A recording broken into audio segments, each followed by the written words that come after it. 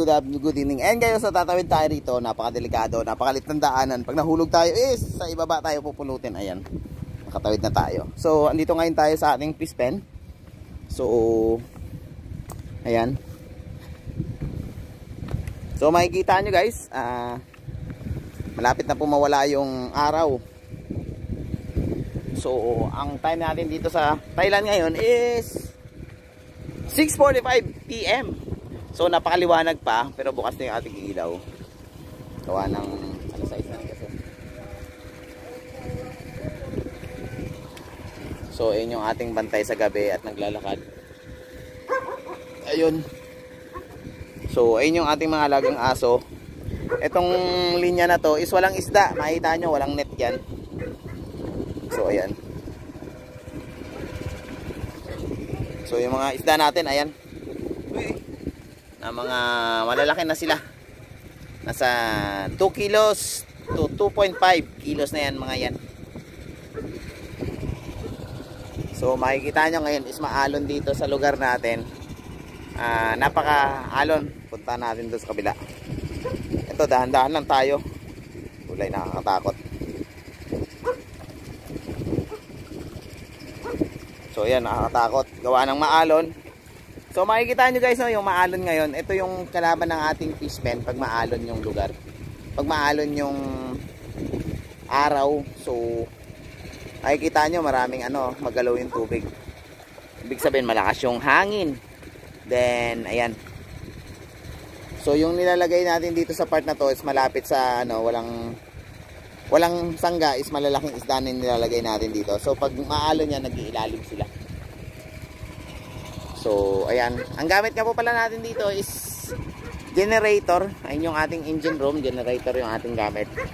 Para bigyan ng ilaw yung ating fish pen. So galain, gala ho rin kayo sa ating ano, fish pen pa. Ayan. Kahit magalaw, nakakatakot. Ayan. Ito wala tong isda. Ayan, walang isda dyan. Marami tayong bakante na walang isda kasi dito ngayon eh. So, ayan. So, yung kalaban din natin is yung putol ng ano. Pag naputol kasi itong kahoy na to, is makakawala yung isda. So, nilalagyan natin ng sarado. Napakaalon, napakaalon ngayon na dito sa ating fish pen guys. Ayan no, makikita nyo. Sumasayaw. Pati yung camera sumasayaw rin.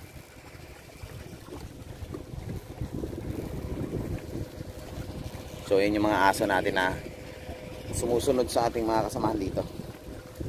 So punta pa tayo dito, punta pa tayo. Gala ko kayo dito sa ating mga isda. Yan, pakita ko yung ating mga isda na gutom. Gawa ng bitin yung kanilang pagkain. Yung iba gutom, yung iba hindi naman. Baka next week, uh, next day siguro ito yung pakakainin natin. Ito yung ma, ano na to, lambat is 4x4 lang to. Tapos ito namang lambat sa kabila. Ito totong lambat na to is 4x8. 4 yung uh, 8 yung ano niya, 8 8 may uh, 8 yung haba niya. Tapos eh, 4 meters yung lapad. So napakalaki, di ba? Ayan. Malalaki na rin yung mga isda natin diyan. Sana makita nyo. So napakaalon talaga. So yan, naglalapitan sila. Ayan, naglalapitan yung ating mga alagang isda. Gawa ng gutom. May nakita pa ako rito ng gutom eh. So ayan, may mga net na nakareserba. So tomorrow, magpapalit sila ng net. And guys, so napakaalon nga yung araw na to. Sobrang alon. Sumasayaw tayo sa gitna ng dagat. Ayan. Ayan o. Oh. Yan, sumasayaw tayo. Ayan, di ba? Nakita niyo talaga pag maalon yung dagat. Sobrang alon ngayon. So, ayan yung ano, yung pinakabantay natin sa gabi niyan. Siya yung nagche-check dito. Baka may maputol or matanggal na tali. Siya yung tagabantay natin sa gabi. So, sa gabi nga po pala, may bantay tayo. At para hindi naman maano. Ito, isang ilera na to, walang isda to. Limang butas is walang isda siya. So, ayan, napaka may kita talagang maalon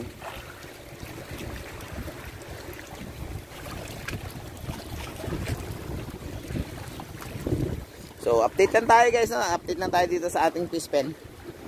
Sobrang alon ngayong araw na to.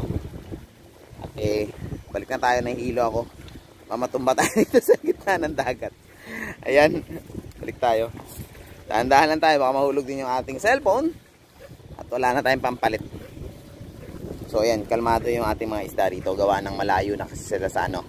Nasasangga na kasi ng drum. Bago pumasok yung alon, papasok dito sa lobby is nasasangga ng mga drum natin. So ang nangyayari, tendency is wala nang current masyado dito sa lugar na to. So ayan, meron pang current dyan. Ayan, magalaw pa yung tubig oh. So ibig sabihin malakas pa yung current dyan. So hindi ko na kayo madadala doon sa ano, sa dulo. Ulay, matik na mahulog. Hindi ko na kayo madadala doon sa dulo guys, gawa ng napaka-alon. Baka may mahulog tayo or something mayari yung ating cellphone. Eh, delikado na po.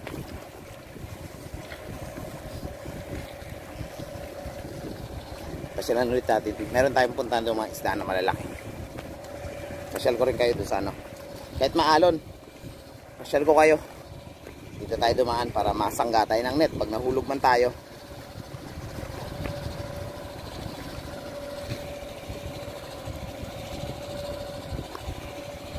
Yan, walang walang isda na lumalabas guys, gawa ng sa alon. Ito meron dito, ito, ito, ito. Yan. So ito, ito. Ayan, gutom yan mga yan. Hindi ko alam kung nakikita nyo pa. Wala na, wala na makikita isda.